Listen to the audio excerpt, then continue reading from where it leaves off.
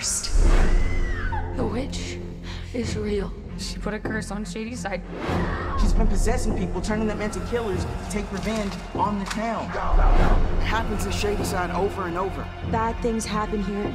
You can't stop her. Your best chance is to run from this place.